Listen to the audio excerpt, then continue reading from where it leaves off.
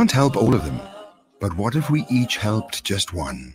The Al Imdad Foundation now gives you an opportunity to help just one orphan from Syria or Palestine. For just 500 Rand per month, you can help safeguard the dignity of an orphan by assisting them with basic needs such as food, clothing, shelter, medical care, and attention.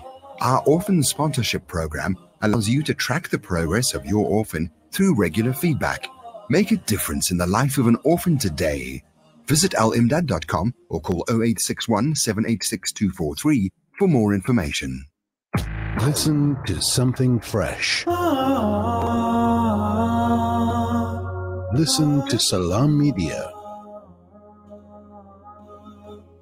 9.32 exactly, and we are joined by Ferial Haffajee, a Daily Maverick Associate, Associate Editor. It gives me much pleasure to have her on the show this morning, however, to talk about a very, very serious and sad matter. And that, of course, is the SIU having confirmed that Babita Deokaran was gunned down after dropping a child off at school a few days ago. She was a witness in the 332 million rand PPE scandal. And let's talk to Ferial about the protection of whistleblowers. And as I'm talking to someone in the media, I'm also beginning to wonder people in the media industry, high powered people in, in, the, in the media industry, are they also not in the firing line as well? Because they don't, because the nefarious uh, mafia or these third force or these crooks that operate in government um, don't like what we report, uh, does that not perhaps then mean that uh, media, high profile media people also uh, are perhaps uh, in the firing line? Ferial, salam alaikum, welcome to the program. Walaikum salam, Julie. Thank you for inviting me. Lovely to have you on the show. And has that thought ever crossed your mind, Ferial? Because i mean you you really do shoot from the hip don't you? You call a spade a spade. Hmm. um, so julie sometimes in, in the course of reporting i i have felt unsafe but there's no evidence that journalists have been targeted for violence other than online. Um, the journalists get hurt in the course of riots and protests and in fact the longest saddest list um, of people who have died in hits are people like Babita Deokaran who've blown the whistle to take out mafias in government to stop the misspending and then lose their lives. Um, so this week I, I went to her home because the family allowed us to come in and interview them. And it was probably one of the saddest things I've, I've done um, in a long time. Um, she was the backbone of her family, Julie, and mm. She was one of those people who keeps the family together. They said that she arranged plays on Zoom every Friday during COVID, that she had brought her brother who was ill with COVID and his wife into her home to look um, look after them. He sadly passed away only 45 days ago. Oh. ago. So a real tragedy, huh? Absolutely. Um, obviously, obviously, the department has failed. I think the SIU has failed her dismally. I mean, surely she was a witness in this case. She has been a witness in other cases as well. Why was there no protection? Well, I think that's what our country is looking at now. I asked Kaiser Hanya, who's the spokesperson for the SIU, why didn't she have protection? He said they have thousands of witnesses and they only extend protection if a person feels like they are unsafe. If they tell the SIU, I've noticed this or that. Um, obviously, they're going to have to rethink that now because she was a high level witness giving evidence about more than just the, the PPE scandal. Um, and and he says that they are going to have to relook at how they extend witness protection because it was so easy to take her, take her out, you know. Mm. Um, there wasn't a camera at a complex I saw um, when we went there, and her car that had been used in the hit was parked in the garage. It was pockmarked with bullet holes, and it felt like she had absolutely no protection as she came home from dropping her daughter at school. Now, when we look at this situation, um, we are told that there's an intense investigation um, underway to bring the perpetrators to book. I must be very honest with you, uh, Ferial. I, I don't have much, I don't hold out much hope there because I should imagine they're very high level people involved here. Um, we, we don't yet know who they are, except to say that Gauteng Health Department is a real viper pit of corruption. It has been for at least a decade now. Um, the Premier, David Makhura, was at the House and he said that um, there was a real high level SWAT team looking at this and that they were soon to, to make arrests. But I have to tell you that in each of the cases of Moss Phakoe, Jimmy Mohlala, the really big whistleblowers whose lives um, were lost so tragically, not a single person has been brought to book. So I think your suspicion or cynicism about it is, is correct. And this evening there will be a, a vigil for her at the Premier's office to keep up the pressure because otherwise, what does it mean? It means that whistleblowers won't come forward because they are likely to lose their lives. Absolutely. And then the rot runs deeper and deeper yes. and deeper. Uh, a while ago, I spoke to, I think it was Cynthia Stimpel. She, yes. she mm. also raised the same issues around about the protection of whistleblowers, how she was threatened. Um, thank God, you know, she's okay. But uh, I should imagine, you know, it's difficult to to kind of lead a normal life, knowing that uh, there's possibly a price on your head. Um, having said that, Ferial, um, what I'm wondering is that I know that Babita was in discussion or she was messaging um, the Ahmed Kathrada Foundation. It yes. seems like she was a good friend of Shan Balton. Do you think something at that you know, at that point in those discussions, Shan should have said something or asked her to ask for protection. I'm just wondering where and who and how we slipped up here in protecting this woman. Um, so those messages she she sent to to Shan was really sad because she was trying to say to him, not all of us are right people. There's mm. many of us here trying to do the right thing. You you you'd have read that in fact, she was sidelined. She was pushed to a, a district office. Mm. Um, and then once the cleanup started happening, she was brought back and made the chief financial um, officer of the department because they could see how valuable she is. You know, she's someone who started working as a young woman in 1987 in government and she's never left. So she's just one of those people totally committed to government, totally committed um, to her job. And I think from Cynthia's book, from reading it, it's clear that the system must change. The, the law that protects whistleblowers has to really be beefed up. And after sitting at the Zondo Commission for three years, I think it's going to be one of the key recommendations from the judge is that we have to much better look after our whistleblowers because often they're the only ones standing between us and and an absolutely corrupt state. Going forward, we know this is the big story of the week. Possibly in the coming days, we're going to hear more and more about whistleblowers, people that have lost their lives, people who have valuable information to yes. bring government and corrupt the corrupt mafia to book. Your suggestions, Firu, how do we navigate this very dark and murky space?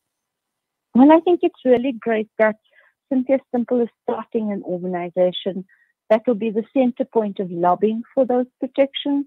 And I guess as citizens, what we have to do is support initiatives like that so that we do provide better extensions of, of, of care um, and protection to our whistleblowers because really when you when you've started the commission or, or even look it's only because of people like your Mcebisi Jonas, like Cynthia Stimpel, um, like uh, like um, Ms. Mosilo Mothepu, who spoke up at the commission, who really helped us to understand the years of state capture.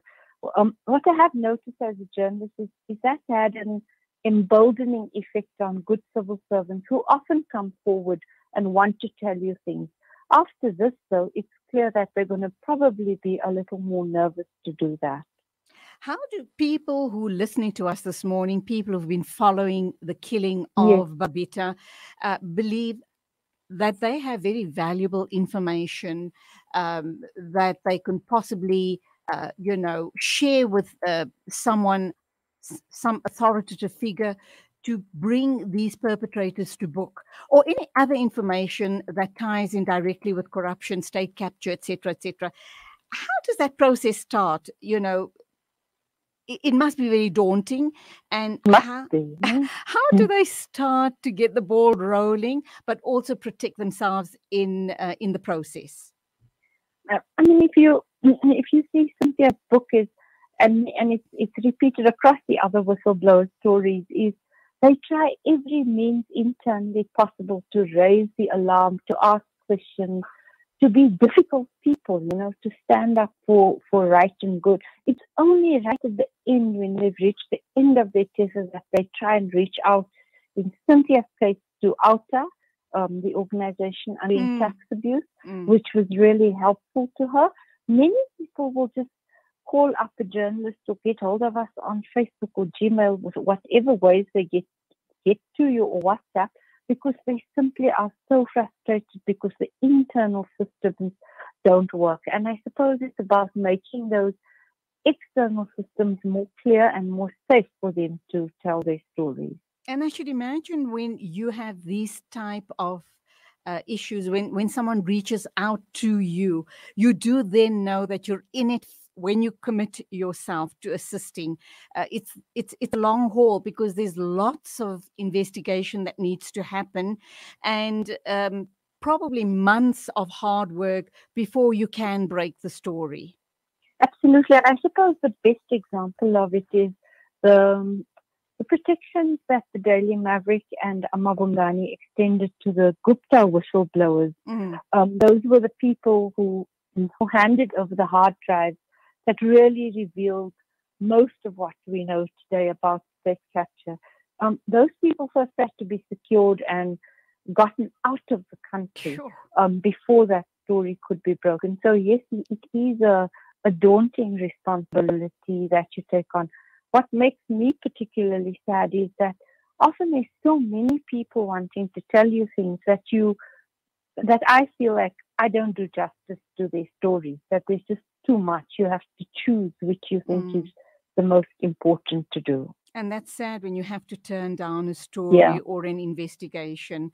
Uh, so that would be your first uh, port of call, so to speak. Just to digress here, uh, Epherial, um, where and how far down are we as far as uh, state capture is concerned? Is there a light at the end of the horizon in terms of recouping? The trillions of rands that were stolen from us as South Africans? You know, I, I think it's a, it's a long it's a long journey.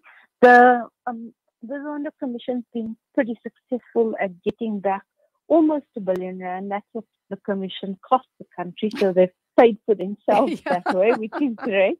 Um, and and you see the SIU under Andy Mothibe doing great work of getting people to repay. He even docks pensions of, of crooked officials Good. in order that that money comes back into the coffers. So slowly, slowly it's happening. The big work is, of course, um, the Guptas and their allies who ferreted out billions of rands that's now sitting in Dubai, in Hong Kong, hmm. wherever. Mm.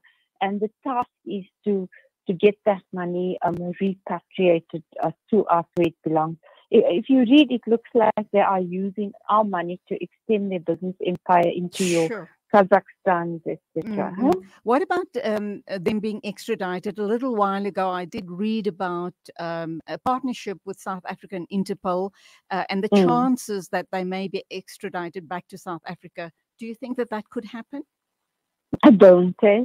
So the UAE, specifically Dubai, where they are, is very um, one of the reasons that it does so well is that it's a safe haven mm. for money from all over the world. Mm-hmm. And while the Emirates have said that they support the provision of mutual legal assistance by which that um, Interpol Red Alert is, is being sought, um, they haven't really come to the party, Julie, in, in helping along that extradition process.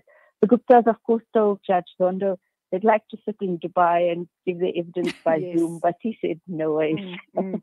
Okay, yeah. uh, I have to take. Um, mm. I've got to make the course. most of this opportunity to talk to you. So I'm stretching this a bit because I'm not sure when I can pin you down again. Your thoughts on the recent insurrection and the terrible letdown by the uh, state security, uh, you know, as far as South Africa is concerned? Yeah, I, I really have been covering that quite closely, and it makes me deeply sad to note that, like 45 days on from that hor- horrifying week, only about three people have been arrested in who who might be said to have organized it. The rest are the people who looted, like literally mm. thousands of arrests. And I think those are your ground runners, probably opportunists, but only three organizers have been arrested, and even then they're really low profile. They're not your they're not your key linchpins who who organized what was called an insurrection. And to be honest with you, I think the president is dialing back from from taking proper action on that because it's politically difficult to do so. Um, he spoke really strong language on that Saturday night where he said we won't leave a stone unturned. People are working day and night to get these arrests done, and we haven't seen that. Okay, and that Mm. would obviously speak directly to the fact that if they do take a harsh action, they obviously know who the kingpins are, Uh, do, yeah. but the dominoes will start falling then, obviously. And that's the reason think why. Scared of that. Absolutely. Um, Mm. Let me just give you the last two minutes to summarize on going back to Babita Deokaran, Yes. whistleblowers, and what sort of reassurance can government or the powers that be can give to whistleblowers uh, to continue doing what they do. Otherwise, we might as well just close up shop and move out of South Africa or live uh, in the most dire of conditions here. Because we've just become more and more corrupt. Hmm. So it made me really sad to learn that today's the day. I, I suppose they they drove um, Babita Deokaran's Mm. um, body back to Durban yesterday, where she'll be bur- buried in her um, with her family in in Phoenix. Um, so we keep in our thoughts, and I suppose the, the lesson out of it is that the protection of whistleblowers lies with civil society making a big noise. I, I really don't think politicians are going to extend those additional protections, better witness protection, without all of us insisting upon it to protect these people who are, like you said, so vital to our country. Ferial Haffajee David, Daily Maverick Associate Editor. Um, keep up the great work. What Thank an you, honor chatting to you this morning and hope we will hook up again sometime soon. Definitely. Lovely to chat to you. Assalamu alaikum. Wa alaikum salam. That was Ferial Haffajee talking to us about the killing, the assassination, the murder, call it what you will, of Babita Deokaran, a whistleblower in the horrific PPE scandal. And obviously, we do know uh, she was working in the very corrupt Department of Health here in Gauteng. 949 exactly. This